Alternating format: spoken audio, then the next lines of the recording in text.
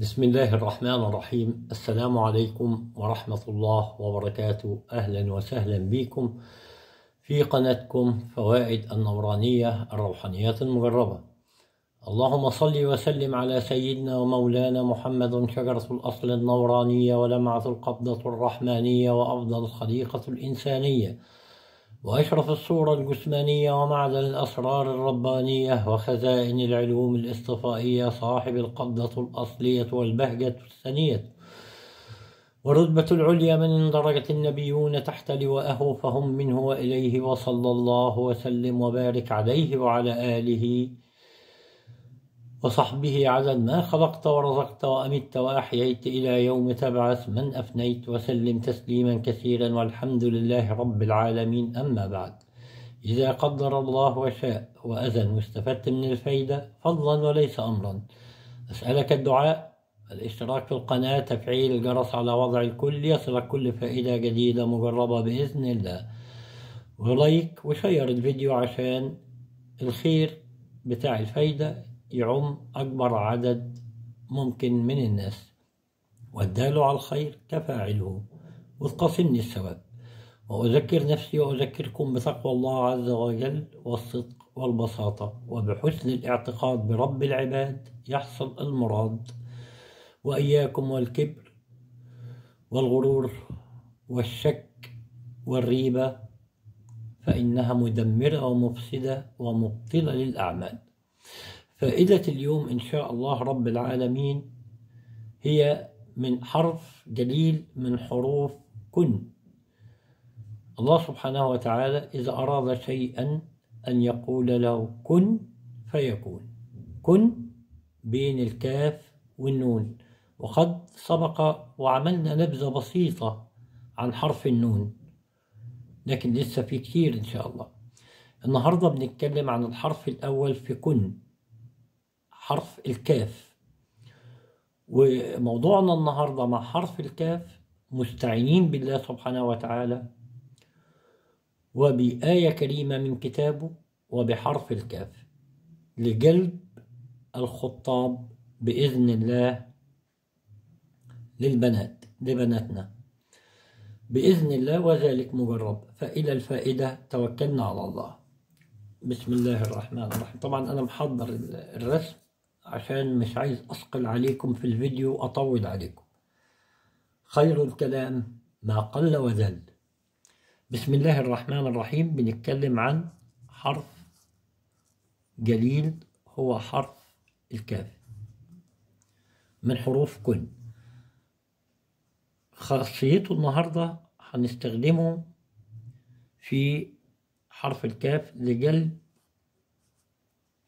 الخطاب. بإذن الله طبعا. لازم تقدم المشيئة الله الأول والآخر.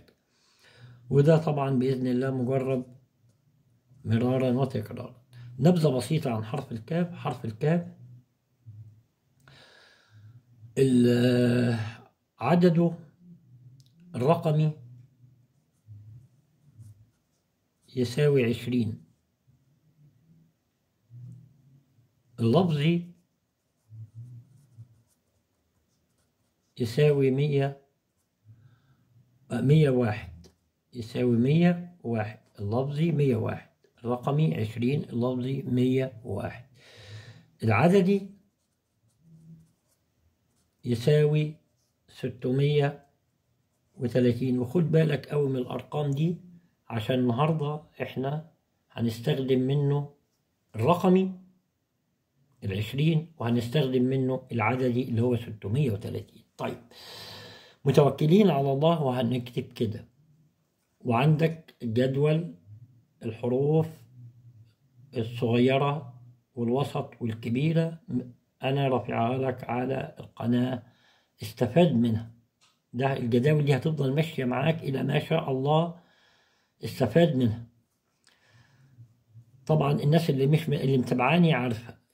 الكتابة تبقى إزاي والأرقام إزاي. أنا بكلم الناس الجديدة اللي لسه داخلة معانا جديد بإذن الله. هبدأ من هنا الأول. اتنين. صفر. ستة ده شكل الاتنين ده شكل الصفر. طيب. أبدأ كده. وانت بتوضع الجدول ابدأ زيي. امشي معايا خطوة بخطوة. ما ينفعش اكتب من هنا أو من هنا أو من امشي معايا خطوة بخطوة. واستنطق كل عدد بتكتبه. اتنين صفر. وما تقولش زيرو. قول صفر. اتنين صفر. تسعة. ده شكل التسعة يا جماعة. تسعة. اتنين واحد صفر. اتنين واحد واحد. اتنين واحد اتنين. اتنين واحد تلاتة. اتنين واحد أربعة. ده شكل الأربعة يا جماعة. أنا بكلم اللي متابعني ماشي. أنا بكلم الجديد. طيب. كده أنا نزلت حرف المثلث العظيم بتاع حرف الكاف العظيم. طيب آه خد بالك في الأول أنا قايل إن هستخدم الرقمي العشرين والعدد الستمية وتلاتين. طب هو فين يا أبو محمد؟ أهو يا سيدي. لما تحسب سعادتك الضلع ده هيديك ستمية وتلاتين. الضلع ده كده 630 الضلع ده كده 630 الضلع ده كده 630 ده كده 630 ده كده 630 متساوي مثلث متساوي الأضلاع عدده 630 طيب. أمال فين يا أبو محمد الرقم العشرين؟ حاضر ما تستعجلش. لأن أي استعجال أو أي خطأ بتبوظ الدنيا كلها. امشي معايا واحدة واحدة. كاف بينكتب كده. كاف كاف كاف كاف. واحد اثنين ثلاثة أربعة خمسة كاف. طيب. ده كلام محترم. وآدي. كاف أنطق كل زي ما نطقت كل رقم بنطق كل حرف. كاف كاف كاف كاف. كاف كاف كاف كاف كاف كاف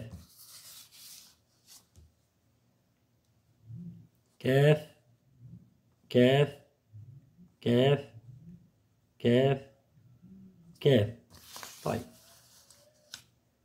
ادي يا سيدي اهو استخدمنا العشرين الرقمي.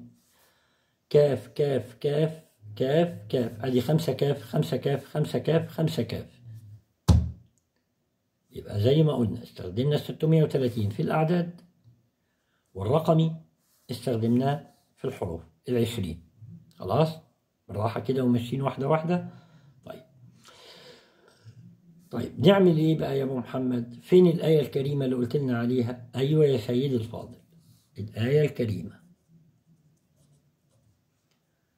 الآية الكريمة. رقم كام يا أبو محمد؟ سبعة وعشرين. من سورة إيه يا أبو محمد؟ سورة الحج. باجي هنا. واكتب. وأذن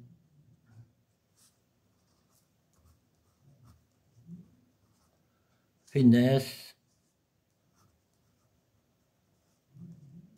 بالحج يأتوك رجالا وعلى كل ضامر يأتين من كل فج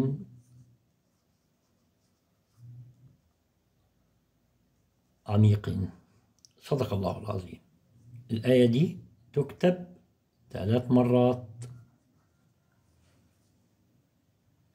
مش مطلوب من حضرتك حاجة تاني.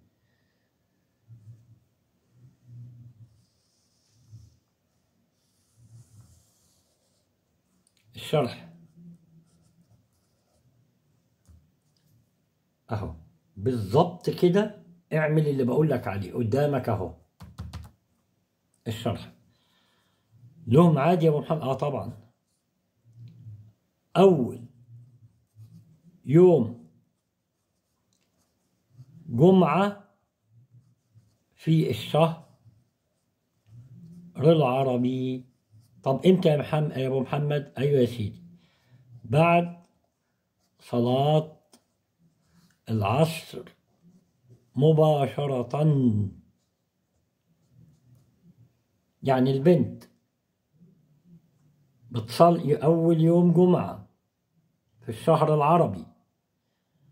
بتصلي العصر وتكون مجهزة الحاجة. وهي قاعدة على سجادة الصلاة بعد ما تختم الصلاة وتسجد وهي سجدة لله تطلب الطلب من الله أثناء الصلاة أثناء السجود وتختم صلاتها وتعملها مباشرة طيب يا أبو محمد ليه ليه بخور؟ آه طبعا يا سيدي ليه بخور إزاي ملوش بخور؟ بخوره عودة زائد. صندل زائد. عنبروت اتكلمنا على العنبروت كتير. اللي معايا ومتابعيني ماشي. أنا بتكلم الجديد. العنبروت غير العنبر الخام. العنبروت هو رخيص الثمن. ريحته ذكية جدا جدا جدا.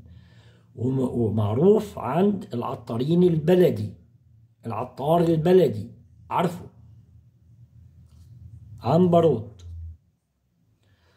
طيب يا أبو محمد وإيه تاني؟ آه يا سيدي يعطر.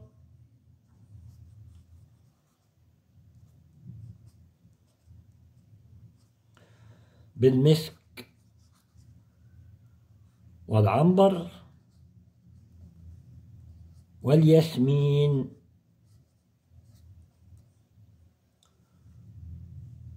ويغلف جيدا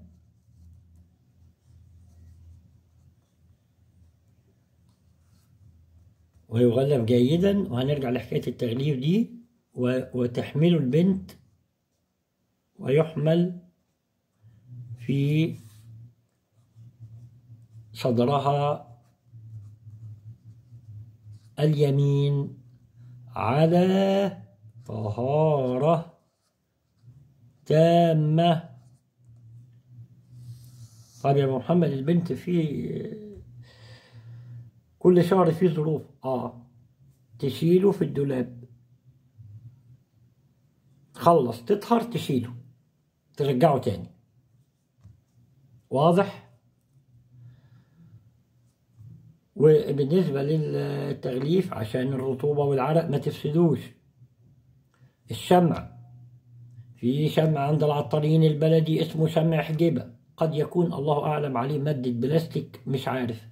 بس ده كويس قوي. ده بيعزل الرطوبة عن عن المكتوب تماما. مفيش سمع يحجبه مش عارف أجيبه. جميل جدا. السلوتيب العريض ولفه كويس البنت تلفه كويس قوي. أنا كل هدفي أصونه من الرطوبة. أدي الفائدة أهي من أولها خالص. أهي معاك. عشان تثبت الفيديو واحدة واحدة وتعرف. وآدي الشرح بالتفصيل الممل. آدي الشرح أهو. عشان تثبت الفيديو وت... وتنقله. وآدي الفيديو من أولها أهو. الخاصية كلها أهي. بنزل الخاتم. الخاتم المبارك المثلث المبارك والآية الكريمة وأذن في الناس بالحج يأتوك رجالا وعلى كل ضامر يأتينا من كل فج عميق. الآية الكريمة 27 من سورة الحج. الآية دي بكتبها ثلاث مرات. وبعدين بتبع الخطوات دي. بإذن الله بإذن الله بإذن الله يجي الخطيب للبنت. وربنا يتمم بخير ويستر على جميع الولاية ويستر جميع الأعراض.